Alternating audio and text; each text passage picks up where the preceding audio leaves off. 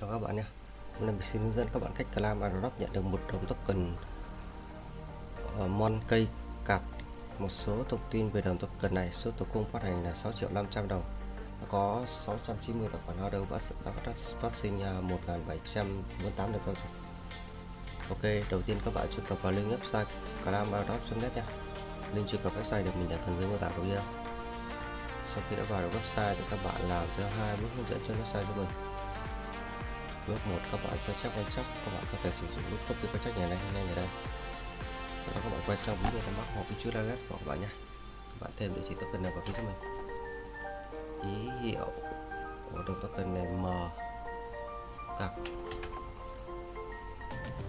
Token 18 nhé.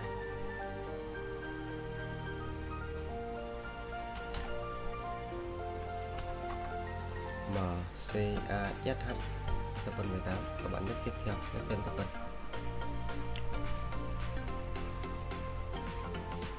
rồi ờ, sau, uh, sau khi đã thêm một địa chỉ tập phần vào ví các bạn quay trở lại website calamarabox.net vừa lấy mở tìm tới bước 2 để nhận tập token nhấp vào link gọi này nhé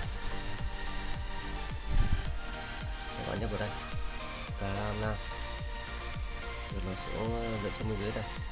Thì sau 96 ngày nữa nó sẽ được click trên sàn tóc quan nhé. Giá của nó là một đồng này tương ứng với lại 4,5 đô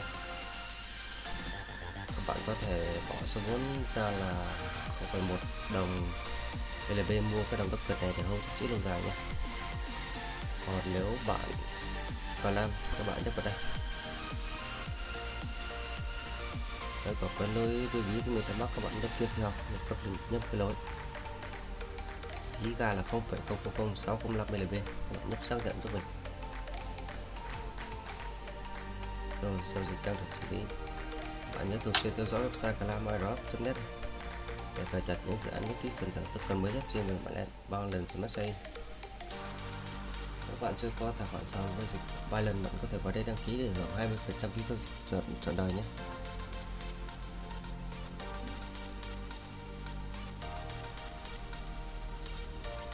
Rồi mình đã hướng dẫn các bạn cách làm nhận được một đồng token một cặp các bạn có thể ủng hộ kênh bằng cách đăng ký kênh và bật chuông thông báo để cập nhật những video mới nhất.